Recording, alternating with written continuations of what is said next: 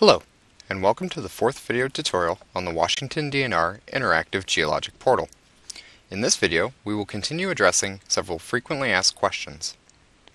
First, we will open the portal at dnr.wa.gov slash geologyportal and open the geologic map theme. I want to call your attention to the navigation toolbar on the upper left-hand side of the map. There have been issues with the two zoom tools in this navigation toolbar.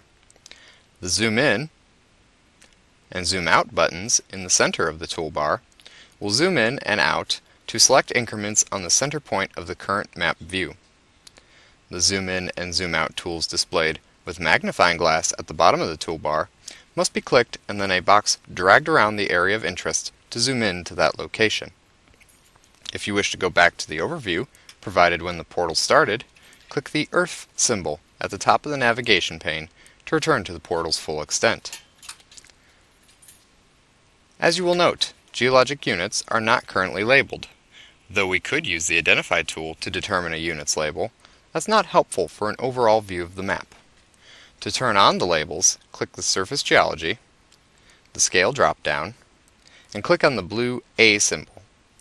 This will turn on the unit's labels for the selected layer. Other layers will also have unit symbols that are turned off by default, so always check for the blue A if you need to know what a unit symbol is. Another easily overlooked area with helpful layers is base layers. Scroll down the legend until you see the base layers drop-down and open this drop-down.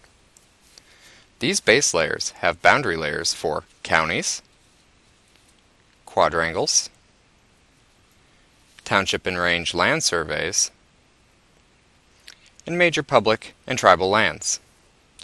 Note that this is different than base maps, which are underlying imagery that can be found in the legend below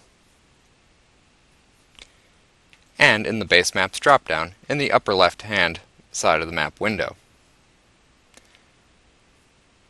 Thank you for viewing this tutorial on frequently asked questions of the Washington DNR Geologic Portal.